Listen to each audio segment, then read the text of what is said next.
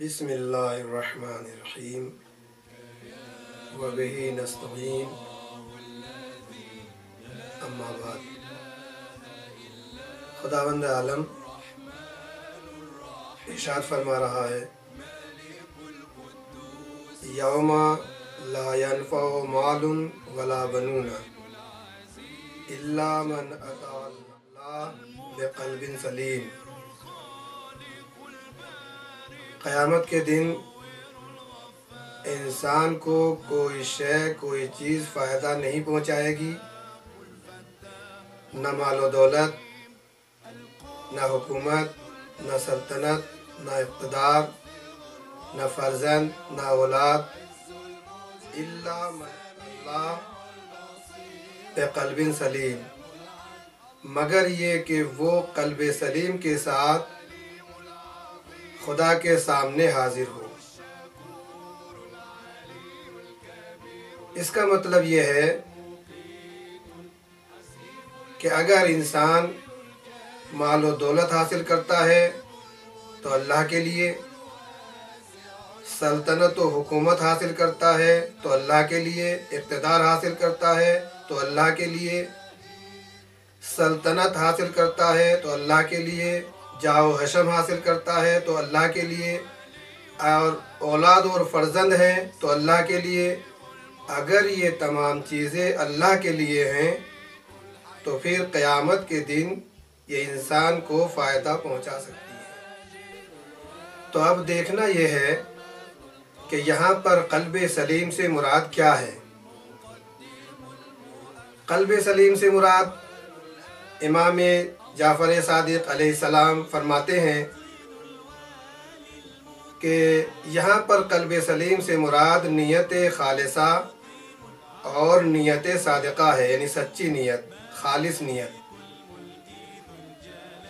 अगर किसी इंसान की खालिस नीयत है और सच्ची नीयत है, यानी वो हुकूमत को हासिल करता है खलूस नीयत के साथ, सच्ची नीयत के साथ, अल्लाह के लिए क़ुरबत अल्लाह इसी तरीके से सल्तनत, हुकूमत, जाओ हशम, औलाद, फ़र्जन, अगर ये क़ुरबत अल्लाह है और इसमें नीयत खालिस है तो ये इंसान को फ़ायदा पहुँचा सकती हैं।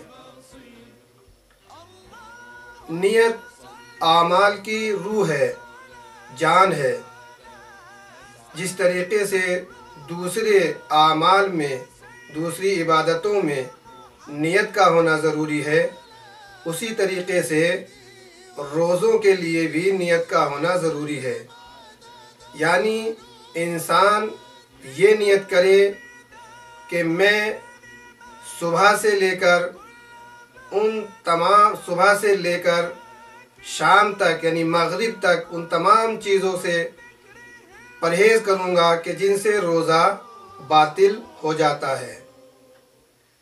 नियत इरादे का नाम है। इसका ज़बान से दोहराना वाजिब नहीं है। रोज़े खा हों या वाजिब हों, दोनों के लिए नियत का होना ज़रूरी है। मुस्तहब रोज़ों के लिए नियत का वक्त अव्वल शब से लेकर मगरिब से पहले तक है। यानी अगर मगरिब होने में इतना वक्त भी बाकी है कि वो नियत कर सके और वो नियत कर लेता है, मुकल्लफ नियत कर लेता है तो उसका रोज़ा सही है।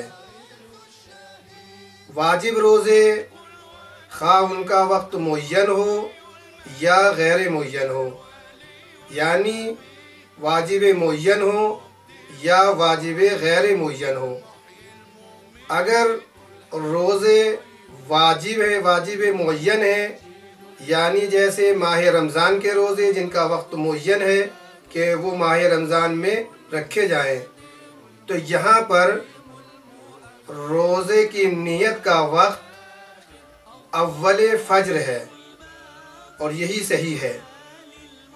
अगर कोई शख्स जानबूझकर या सहवन ना जानने की वजह से रोज़े की नियत में ताख़िर करता है तो इस सूरत में एहतियात वाजिब ये है कि वो शख्स उस रोज़े की नियत करे और उस रोज़े को रखे, लेकिन माह रमज़ान के बाद उसकी कज़ा बजा लाए। वाजिब गैर मुन यानी वो रोज़े कि जिनके, जिनका वक्त मुन नहीं है, जैसे माह रमज़ान के कज़ा रोज़े। इनका कोई वक्त मुन नहीं है, बल्कि आप किसी भी महीने में रमज़ान के अलावा या उन दिनों के अलावा जिनमें रोज़ा हराम है, आप ये कज़ा रोज़े रख सकते हैं। इनकी नियत का वक्त जवाल तक है, यानी जवाल से पहले पहले आपके लिए ज़रूरी है कि इस रोज़े की नियत कर लें। इस सूरत में आपका ये रोज़ा सही होगा। वसल्ला महमद वाल